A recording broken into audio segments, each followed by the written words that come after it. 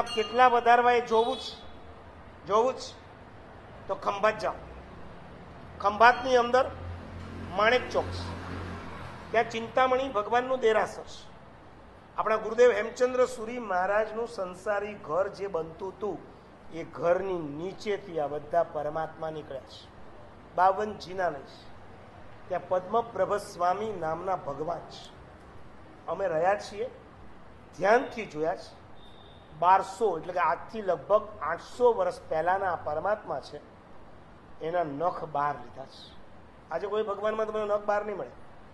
ત્યાં બેથી ત્રણ પરમાત્મા એવા છે, એના નખ બહાર આવ્યા છે. એટલા ફાઇન લાગે, એટલા ફાઇન એના જે કર્વ, એનું જે કટિંગ જો ભાઈ હું તમને આ બધું તમારા નખની સ્ટાઇલ માટે નથી કહેતો એટલે ભાઈ બ્યુટી પાર્લરમાં જઈને બ્યુટિશિયનને કહેશે, મને પદ્મપ્રભ સ્ટાઇલમાં નખ કાપી આપે. આ પ્રભુના નખ એટલા જ વધે કે જેનાથી પ્રભુ સુંદર લાગે. આ પ્રભુના કેસ એટલા જ વધે જેનાથી ભગવાન મનોહર લાગે. આ પ્રભુના રોમ એટલા જ વધે જેનાથી ભગવાન અતિશય દર્શનીય લાગે. પરમાત્માના પગના નખ, હાથના નખ, શરીરના રોમ અને મસ્તકના વાળનું વર્ણન કર્યું છે. ઔપપાતિક સૂત્રમાં સાતડા આકારના પ્રભુના વાળ હોય છે.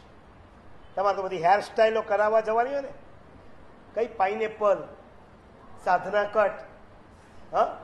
આ બધી કોઈ હેરસ્ટાઈલ નહીં. પરમાત્માના સાતડા આકારના હોય, અત્યંત ઘનિષ્ઠ હોય, એક પણ વચ્ચે ક્યાંય વાળ ન હોય, એવું બને જ નહીં. એકબીજાની અંદર ઘન વાળ હોય, આવા પરમાત્માના કેશ, રોમ અને નખ હોય, એવા પરમાત્માને નમસ્કાર.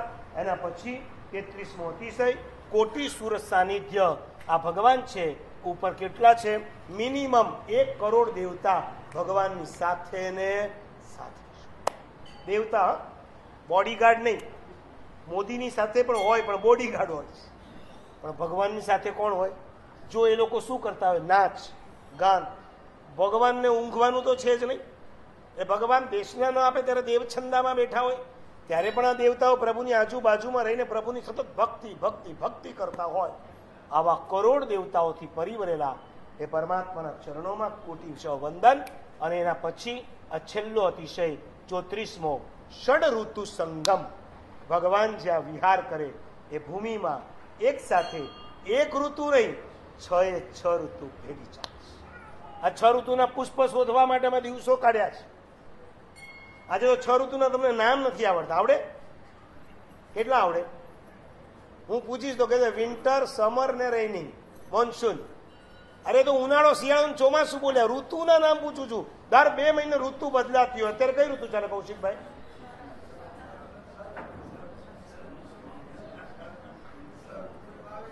શરદ પૂર્ણિમા આવે છે એટલે શરદ યાદ છે. શરદ, શિશિર, પછી વસંત, પછી હેમંત, પછી ગ્રીષ્મ, પછી વર્ષા.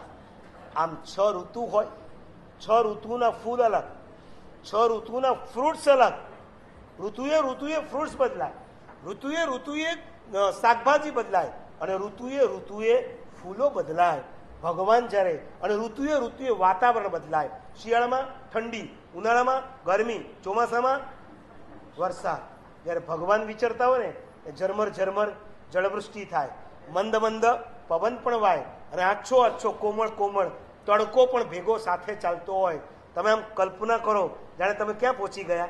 અમેરિકા પહોંચી ગયા લાગુ છે હે? ત્યાંય કદાચ આવું વાતાવરણ નહીં હોય. ત્યાંય ઘણી વખત ગરમી ભડકે પડતી હોય છે. આ એક માત્ર પરમાત્મા જ્યાં વિચરતા હોય, અત્યારે મહાવિદ્યમાં સિમંદર સ્વામી વિચરી રહ્યા છે. ત્યાં આવી છ ઋતુ એક સાથે જોવા મળે. આવા ષડ ઋતુનો સંગમ જ્યાં શોભી રહ્યો છે, એ પ્રભુને નમસ્કાર. ચોત્રીસ અતિશયની પૂર્ણાહુતિ. એનું સમાપન એ વિવેચન કરતા કરતા પરમાત્માની આજ્ઞા વિરુદ્ધ કંઈ પણ બોલાઈ ગયું હોય તો મુચ્છામી દુક્કડમ.